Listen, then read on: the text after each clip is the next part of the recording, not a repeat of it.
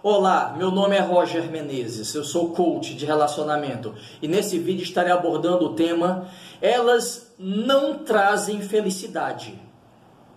Mas antes quero dizer que aqui logo abaixo, nas descrições desse vídeo, tem um link especial que dá acesso ao e-book grátis A Chave da Sedução. Com esse e-book, você vai conseguir conquistar qualquer tipo de mulher e não apenas isso, mas a se tornar o homem ideal para toda a sociedade, não apenas para elas. E-book A Chave da Sedução vale a pena conferir. Veja bem, por que, é que eu digo que elas não trazem felicidade? Porque ainda existe, nos dias de hoje, homens que pensam que namorar, noivar, casar ou ter um caso traz felicidade. Não traz. Nada disso traz felicidade no máximo traz uma satisfação emocional. Apenas isso. Veja bem, namorar, casar, noivar, ter um caso extraconjugal, digamos assim, não traz felicidade, tá certo? Muito pelo contrário, traz ansiedade, ansiedade, preocupação, certo? e medo, muito medo.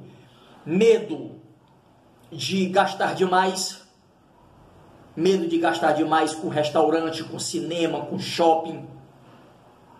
Medo de ser passado para trás. Vocês entendem o que, que eu quero dizer? De ser passado para trás pela mulher. Então, reúne toda uma gama de situações e emoções negativas traz aquela satisfação e aquela possibilidade de dar uma satisfação para a sociedade, de dizer: eu tenho uma namorada, eu tenho uma esposa, eu tenho uma noiva. O orgulho infla o ego do homem. Só serve para isso. Não tem vantagem. Não é que eu esteja sendo contra o namoro, o casamento, nada disso. Eu gosto de namorar. E talvez, quem sabe, um dia eu possa me casar com alguém. Não estou sendo contra tudo isso, não é isso. Eu estou dizendo que não traz felicidade, muito pelo contrário, traz medo, preocupação, ansiedade e coisas do tipo, sentimentos do tipo. Bom, espero que tenham gostado da observação e do conselho do vídeo de hoje.